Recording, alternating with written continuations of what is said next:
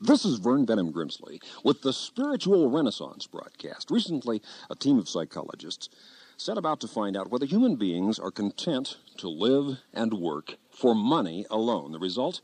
Studies in more than 200 industrial firms, said Dr. Rensis Likert of the University of Michigan, proved that high productivity almost always occurs where managers have been able to harness motives other than the pay incentive motive. Most importantly, a person needs to feel a purpose in his or her work. That creates satisfaction on the job. But what about you? Are you satisfied in your life? On your job, in your work? How can you find a deeper sense of satisfaction, meaning, and purpose? 2,000 years ago, there lived a philosopher who said, If you are faithful in the small things, you will be faithful in the large things as well. But if you're unfaithful in small matters, you can hardly be trusted with larger ones. Give your best energies to life and its opportunities, where you are and as you are, right here and now, and you will become ready for still greater ventures in the future. In a car or truck with a manual gear shift, you don't start in high gear, but in low. And you first attain maximum speed in low before shifting into a higher gear. You may feel impatient that your life is not moving rapidly enough. Your progress may be slow low gear at present, but progress in perseverance. Seek to attain the maximum potential as you are now. Attain optimum speed in your present gear, and you will be ready to shift up when the time comes. But when the time does come for shifting, don't hesitate to act. Spiritual progress is exhilarating. One principle of human greatness is to act without procrastination. To postpone a problem is not to solve it. To delay a dilemma is not to end it. It's as if you overdrew your checking account. The bank sent you a statement of the fact. You sent them, in turn, a check to cover the amount you overdrew from your checking account. Illusory solutions do not solve real problems. There's nothing about being a person of deep faith which should prevent you from exercising deep thought. The inward serenity of finding and knowing God will, in fact, render you manyfold more competent to solve your daily problems with intelligence and cheerfulness. Once you find God, you will then be prepared to do everything in your life better than before because you yourself will be better than before, living as the son or daughter of God. You were born to be, and in truth, you really are. A courageous and creative person can turn even seeming failures to good advantage. Suppose that two salesmen are talking, neither one has made a single sale all day.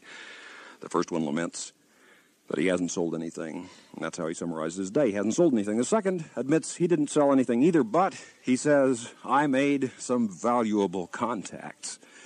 He has the ingenuity, the creativity to know that even supposed failure can be channeled constructively. There is power in persistence. And as a son or daughter of the living and most high God, you can begin to see your problems as camouflaged possibilities. You can learn to overlook problems and mishaps when your enthusiasm is directed toward some higher and greater goal. Remember the story of Alexander Graham Bell. Working with his assistant Thomas A. Watson on June 2, 1875, in that Boston boarding house, Bell accidentally upset a jar of battery acid on his clothing. And he said, Mr. Watson, come here, I want you. Watson happened to be in another room at the time, but he heard Alexander Graham Bell's voice coming to him over the copper wire. According to the historians and biographers, Bell instantly forgot about the spilled battery acid on his shirt in his excitement over this amazing revolutionary discovery. In the same way, the problems, sacrifices, vexations, and perplexities of your life, your life today and tomorrow and this week and this month, will begin to seem much less important when you wholeheartedly dedicate your life your purpose to the exciting work of doing the will of God, building the kingdom on earth. In the ongoing enthusiasm of loving God and God's will and wisdom for your life, your lesser disappointments will be forgotten. They will be eclipsed by this joy, this enthusiasm. A famous trainer of prize fighters was once asked, What is the difference between a good boxer and a great one? And he replied, When the fight gets tough, a great fighter lasts five minutes longer. Five minutes longer. Develop your endurance. One of God's greatest gifts is the power of persistence. Cultivate determination. John Robert Seeley wrote, No virtue is safe that is not enthusiastic. William Lyon Phelps once asked William Harper, one time president of the University of Chicago, at the end of a long lecture day, How do you keep so enthusiastic, even so late in the day, especially after teaching a subject as dry and intricate as Hebrew? And Dr. Harper replied, I do it this way. If I have no enthusiasm, I create it. God has given you the power to choose to live enthusiastically. Get on fire for God, said John Wesley, and people will come to see you burn. May your soul burn with the desire to do the will of God, and let the love of God surge in your soul. Someone has written, There is beauty in the forest when the trees are green and fair. There is beauty in the meadow when wildflowers scent the air. There is beauty in the sunlight and the soft blue beams above. The world is full of beauty when the heart is full of love. If you will fill your heart with the love of God and the love of others, you'll discover the beauty of life but the source of love is divine. The two great commandments are you shall love the Lord your God with all your heart, with all your soul, all your mind and strength, and you shall love your neighbor as yourself. Wrote the poet Charles Hanson Towne. I need not shout my faith. Thrice eloquent are quiet trees and the green listening sod. Hushed are the stars whose power is never spent. The hills are mute, yet how they speak of God. All the universe bears testimony to the power and glory of God. The heavens declare his glory, and the firmament shows forth his handiwork. This Creator God, the first source and center of all things and beings, the Creator, controller, and infinite upholder of all reality, this God loves you and calls you to live in love and fearlessly in faith. The philosopher educator John Dewey said, To me, faith means not worrying. Or could it be more than that? Could it be that not worrying is one of the symptoms or byproducts of having faith? But faith itself is a committed conviction so intense that it actually molds and motivates your way of life moment by moment, day by day. Ralph Waldo Emerson wrote in a letter to Thomas Carlyle that for lack of faith, Many a man has died outside the door to peace and joy, died with his very hand on the very latch yet lacking the faith to open it. Human living at its best requires faith. Have faith in God, said Jesus. Have faith in God. Trust God with your life, your time, your eternity, your present, your future. No matter what your problem or vicissitudes may be, trust God. Everyone at times faces disappointments, rejections, whether it's someone saying no to a marriage proposal, an employer turning down your application for a job, or that man who had written a new national anthem but the people just wouldn't stand for it. Whatever your frustrations and vexations, you can find an inward strength, the power of persistence and renewal in prayer in turning to God, in sharing your secret hurts, hopes, and dreams with the eternal Father, the living God whose will and wisdom will inspire and instruct you in the more meaningful ways of living your life.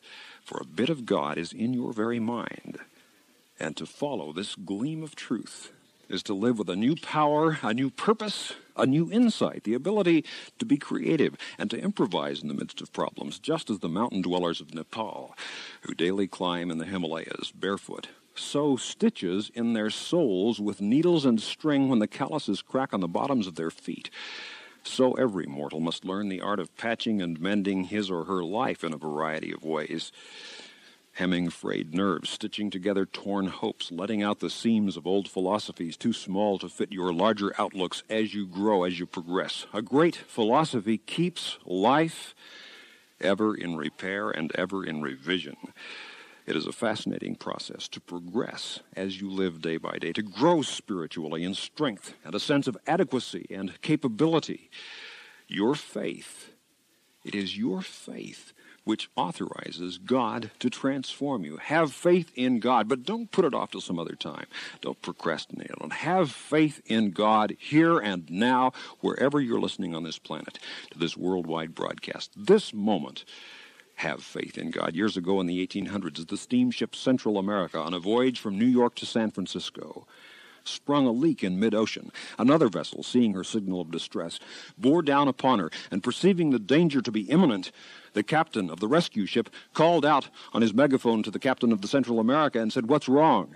And he said, We're in bad repair, we're going down, but lie by till morning, was the answer. The other captain said, But let me take your passengers on board now, because I believe you're sinking. But because it was nighttime, the commander of the Central America did not want to risk sending his passengers away, lest some of them might be lost in the fog and the dark, and thinking that they could keep afloat a while longer, he called back and said, Lie by, stand by till morning. And once again, the captain of the rescue vessel called, No, you'd better let me take your passengers on board now. But the captain of the Central America called back through his megaphone, No, stand by till morning. It's too dark and foggy to attempt the rescue. About an hour and a half later, the lights of the ship, the Central America, began to twinkle out. And although no sound was heard, that great ship, the Central America, went down, and all on board perished because it was thought that they could be saved better at some future, later time. Do not put off these matters of immediacy and import which are before you this very moment. Your return to God, your faith in God. Do it now while you're thinking about it, while it's on your mind, wherever you're listening to this broadcast.